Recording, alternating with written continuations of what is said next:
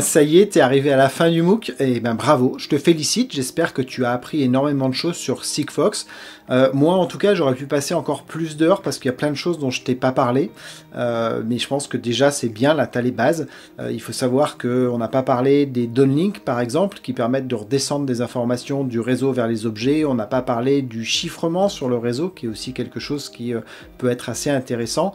Et puis, on n'a pas parlé de tous les autres services que Sigfox crée, comme Bubble, par exemple, ou de l'ultra low cost, ou de l'ultra low power qui est en train d'arriver. Enfin, voilà, c'est tout un tas de sujets en fait qui sont derrière Sigfox euh, qu'il aurait été un petit peu long de, te décrire entièrement euh, maintenant.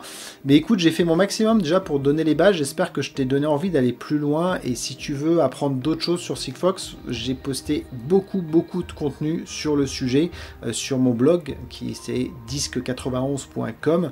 Donc je t'invite à le suivre, je t'invite à regarder tout ce qui a déjà été écrit et puis les futurs articles qui vont arriver si tu veux te tenir informé. Euh, j'essaye toujours de, faire des choses qui sont assez courtes, assez concises. En tout cas, avec euh, ce MOOC, eh ben, tu as, à mon avis, les bases qui te permettent de comprendre les articles un petit peu touchy que des fois euh, je peux écrire sur le blog. Voilà. Et eh bien écoute, je te remercie d'avoir suivi le MOOC jusque-là.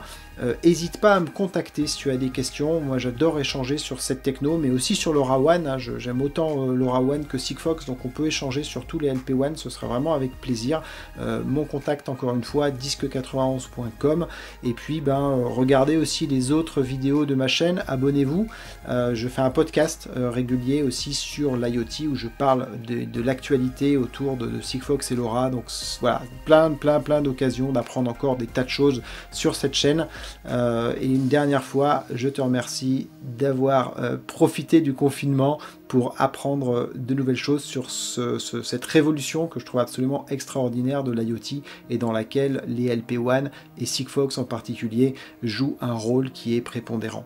A bientôt